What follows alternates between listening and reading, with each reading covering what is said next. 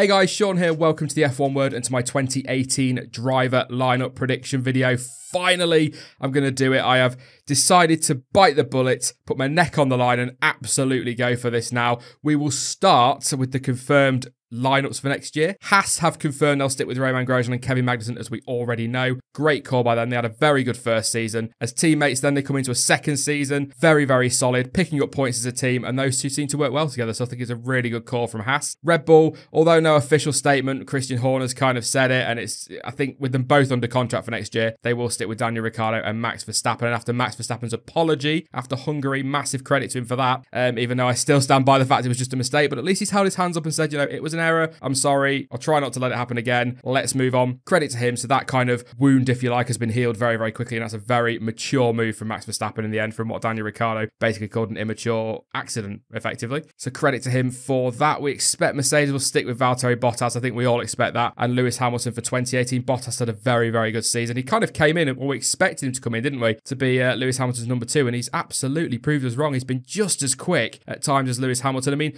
when Lewis Hamilton is on his day, like Silverstone, for example, nobody can get near him, let alone his teammates. So I think Bottas has been stellar this season. Absolutely deserves a second year at Mercedes. And he's still in the title hunt, of course. Who knows? Who Wouldn't that be a great twist? I'd absolutely love that. And of course, Lewis Hamilton is already contracted for one more year at Mercedes. Uh, I said it last week, and that is that Ferrari will stick with Vettel and Raikkonen. They'll announce that at Monza. Is expected anyway that they'll announce that at Monza. It was rumored towards the end of the weekend. Ah, uh, I like Kimi Raikkonen. I absolutely do, but I just I feel it's time for him to move on. And this feels like Ferrari are saying we want a number two for Vettel, and we know you're willing to do it. We know, or it's rumored. It is rumored. That's the big the big word of the day. I think that Vettel demanded Raikkonen as a teammate if he was to pen a new deal. Raikkonen's willing to be his number two, and he's dropping off in pace, and that suits Sebastian Vettel down to a T. From what everybody understands, he gets to decide who his teammate is effectively, or gets the veto on his teammate, which is why we know he will never partner Lewis Hamilton at Ferrari. So I think, yeah, that's a, a disappointing one for some of the young drivers or the other drivers on the grid, like Sergio Perez, for example, who absolutely deserve a crack at that seat. But there you go. They're going to stick with Vettel and Raikkonen for 2018. Now, the midfield. This is where it gets a little bit trickier to predict. I'm going to start with Renault. Obviously, Nico Hulkenberg signed a multi-year deal, so he's going to stay for next year. Absolutely, he's been he's been good this season, given the car he's got on the engine. I think he's done very very well. But his teammate. Now, for me, this is between three. That's Robert Kubica, Nicholas Latifi, and Esteban Ocon. I think it's probably a year too early for Latifi, and I'm not sure on Ocon. Now, Kubica, you know, I don't know. A month ago, I would have said Ocon was nailed on for that seat, but given Kubica's incredible performance in the test, you know, I can't see why Renault would invest all this time in him, all this effort in him, and then him come out and prove he's capable and then not snap him up. So for me, possibly heart over head, I'm going to go Nico Hulkenberg and Robert Kubica at Renault for 2018. One thing that absolutely does do is that pretty much nails down Force India as well. Sergio Perez will stay, no doubt about that in my mind, and Esteban Ocon will remain as his teammate. They've been good, very, very consistent. If they can avoid crashing into each other, I mean, the guys don't seem to like each other, but so long as they're not crashing into each other, that doesn't matter. they just need to stop doing that. But I think Force India will be silly to let either of those go, and I think they will stick with Sergio Perez and Esteban Ocon. So Renault locking their seats down made that a damn sight easier. McLaren. Ah, now, a couple of months ago, this would have all come down to the engine deal and what they were going to do. It's now rumoured it'll be Renault, but then it seems to be a different engine every other week. So I don't know what they're going to do. Alonso, where does he go? You know, I've basically said Red Bull, Mercedes, Ferrari, and Renault are all locked off. That really only leaves McLaren. Um, I did do a video on his future a couple of weeks ago. I said possibly Williams, but that was again a little bit heart over head, if I'm being honest. But I think I can see him signing one more year at McLaren and basically saying, look, guys, I'll give you one more season, get it right, or I'm off whether I've got a seat or not. Even if I have to retire, I am gone at the end of next year if we don't get this right. I don't know about the engine. I haven't got a clue. Like I said, it changes every other week. I would still say Mercedes if they were going to change. I don't see why they go to Renault. It's a step up, but it's not enough of a step up for McLaren. So I don't know, but I think Fernando Alonso and Stoffel Vandoorne will stay for 2018. I think Vandoorne's done well given all the problems with the car. So I think McLaren will stick as well. Now, Toro Rosso. Yes, they've basically said, I mean, Christian Horner said, why wouldn't we keep Sainz and Kvyat? Um, Sainz, yes. Kvyat, no. I, I don't know why you would keep him, given the certainly the last few races he's had. He's not been great, has he? He's really struggled. I mean, to be fair to him, the problems he's having were completely forced on him by Red Bull when they basically kicked him in the gut massively when they booted him out of Red Bull and demoted him to Toro Rosso because he had a bad race. In fact, oh, they said a bad start to the season, but I don't see it at all. He had their only podium at that point when they kicked him down, and they really, really gave him a good kicking, didn't they, that season? And I think that's probably where this all stems from. I would prefer another young driver to get a crack, and I'm going to go with Pierre Gasly to partner Carlos Sainz because I think he is at the point now where he needs a Red Bull driver, a Toro Rosso driver. He's coming towards the end of that stint, if you like, in the Red Bull Young Driver program. So I think now is his time. They need to give him that chance. They should have given him it last year, but they've got to do it for next season. So that is Carlos Sainz and Pierre Gasly at Toro Rosso once again. Possibly heart overhead, but we shall see. Sauber and basically Ferrari's B team now, aren't they? They are the junior outfit. Ferrari said it's Sauber. That suits them, I think, with the deal. They'll get an engine discount and probably a little bit of money pumped in as well. But what does that mean for their driver lineup for next year?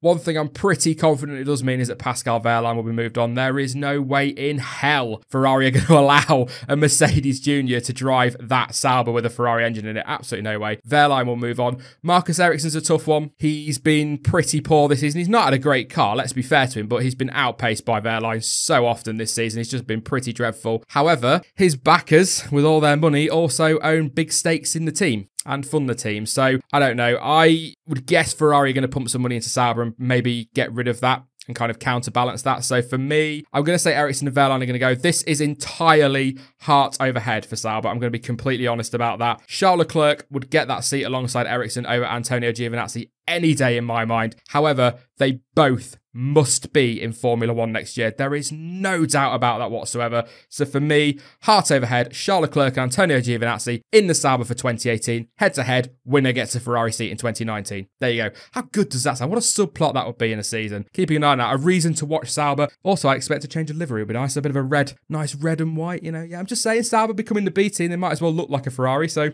yeah, Leclerc and Giovinazzi for 2018, which leaves us one more team. And that is Williams. And guys, I have toiled over this. I've spent hours trying to work out who is going to partner Lance Stroll next season. I do think Stroll will get a second season. He's not been great since his issues at the start of the season. He's definitely got better and improved, and he's shown that he's growing. But I know a lot of people don't like him. You know, a lot of money behind him. Some see him as Deadwood. I don't think he's Deadwood yet. I think a second season will do him good. And if he still improves over next year, then maybe he'll get a long term future in Formula One. But it'll probably be another year for Stroll. But it's who partners him. Felipe Massa wants to stay at Williams for 2018, which isn't bad for a guy that wanted to retire as soon as eight months ago. Uh, but he came back for this season with the regulation change to help the team out. But I think it's time really for him to move on and allow some of the younger drivers to come through, give somebody else a crack at that seat. There were rumours that Jenson Button was approached. I think he said it himself, but he's enjoying retirement and rightly so. He looks like he's having a cracking time based on his Twitter feed at least. So I think that's it for Williams. I think they'll let Massa go. They'll not pursue Button any further. And I've kind of toiled over it and put two and two together and come up with seven, as I often do in Formula One. And a lot of people do, to fair, not just me. And I kind of feel with the ties to Mercedes, and obviously they'll want to keep him in the sport with him leaving Sauber. I think Pascal Wehrlein will partner Lance Stroll at Williams for 2018.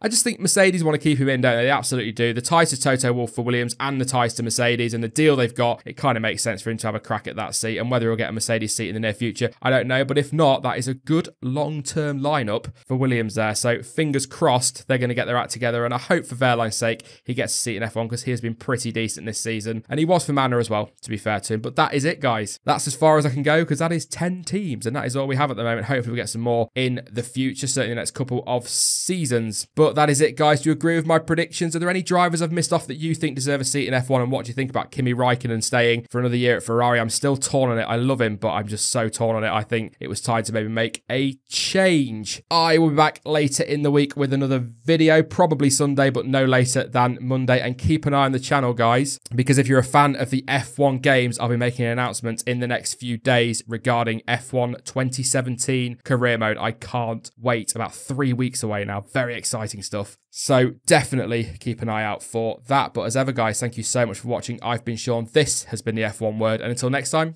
goodbye.